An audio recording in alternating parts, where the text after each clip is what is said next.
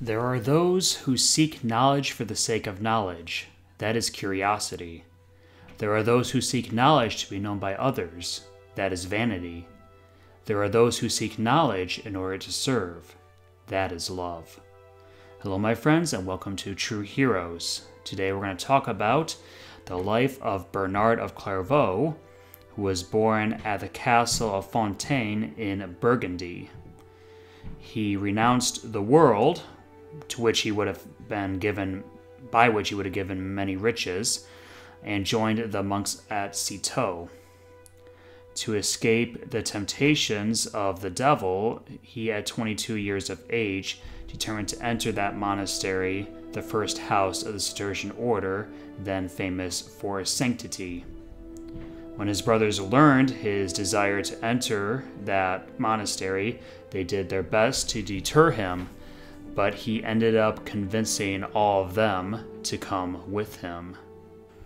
All of his brothers, with the exception of Navard, that is, who was the youngest, he was left to be the support of their father in his old age.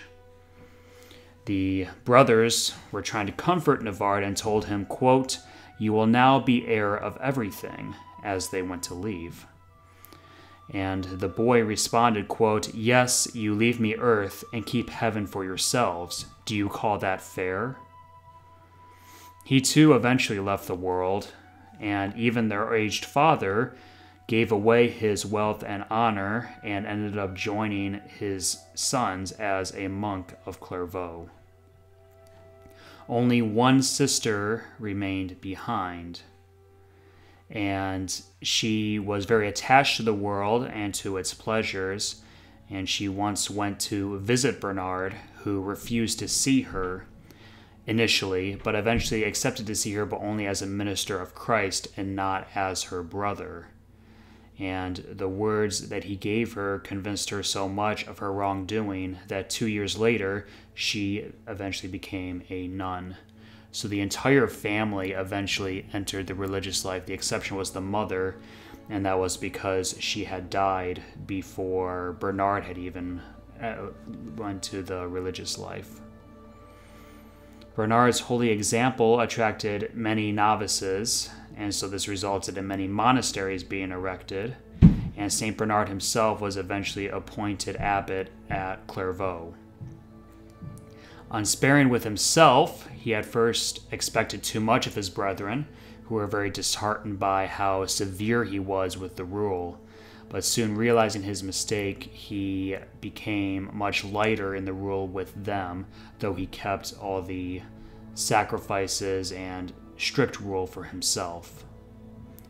In spite of his desire to be unknown, the fame of his sanctity spread far and wide, and many churches asked for him to be their bishop, though he was able to avoid this with the help of Pope Eugenius III, who was actually a former subject of his.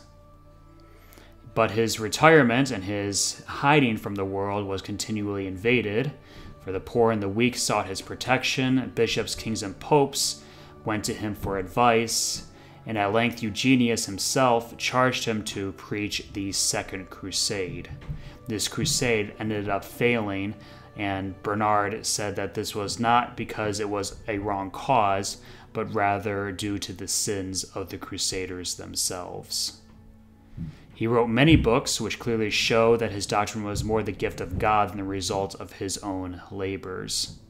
He was a great assistance to the Pope Innocent II in putting down the schism of Peter de Leon, both at the courts of the emperor and of King Henry of England, and at a council held at Pisa.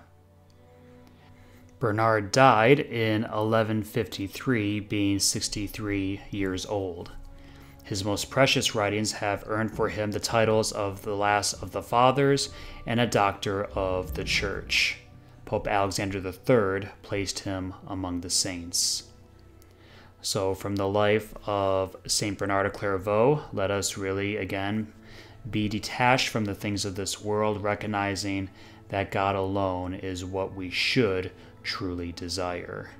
and let us convince our siblings to do the same. We see that the siblings of St. Bernard tried to convince him to not leave the world, and the results of their arguments resulted in the brothers of Bernard going with him to renounce the world. So let us try to do the same then for our own siblings. Tomorrow is the feast of Saint Jean Francis de Chantal, who established the Order of the Visitation with the help of Saint Francis de Sales. Until then, God bless you all, my friends. Saint Bernard de Clairvaux, pray for us.